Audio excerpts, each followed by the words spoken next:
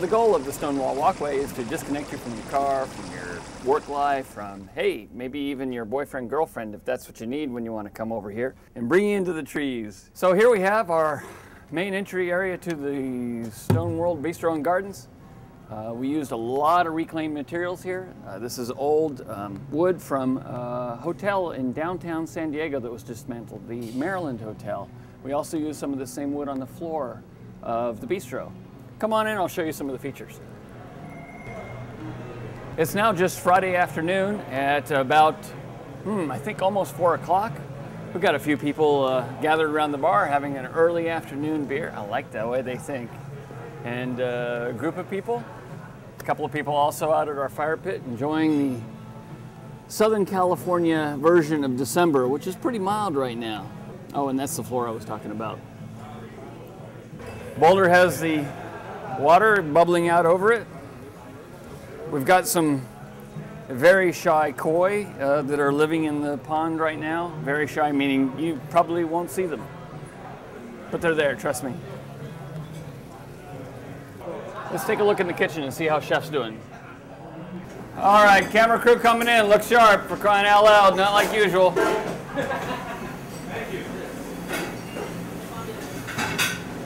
I treat these guys with, uh, you know, kid gloves all the time. They're really gentle souls. People in the kitchen, they're very sensitive. They're really in touch with, you know, all their feelings. Uh, they're not this rough and tumble thing that uh, everybody has the, uh, the image of just because they play with knives all day long. Did I get that right? Sure. Yeah, exactly. Okay, so there are a bunch of ruffians that know how to like wield everything and, and get that food just so every single time. So right now things are actually not that busy at the moment because we're between lunch and dinner. Lunch is really busy, and we expect dinner to be busy too. so- Yeah, we got a lot of big groups tonight. It is the holiday times, and of course people are planning to come celebrate with us over a few beers and some great food. And uh, I think things are going to be really cranking here in about two hours, maybe even less.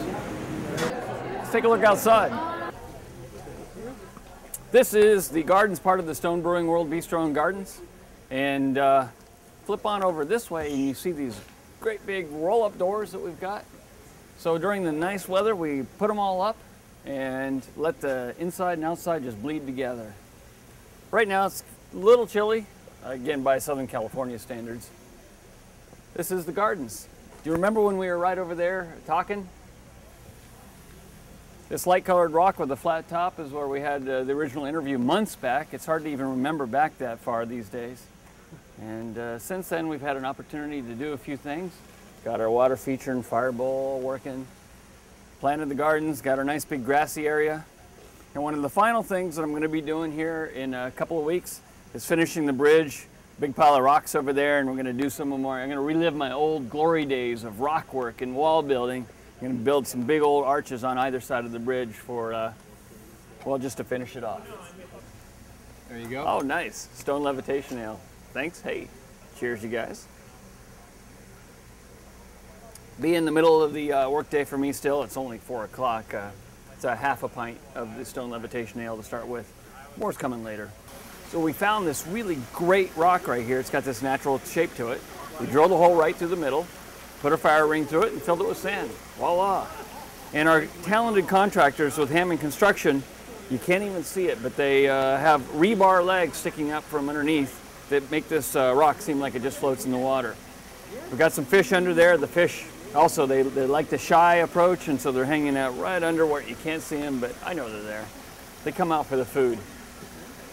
Combine that with this uh, waterfall, and it's this, this system that just circulates in between uh, the, the inside rock and outside here and the fireball, and a nice place to hang out. Nice place to hang out, you guys? Cheers.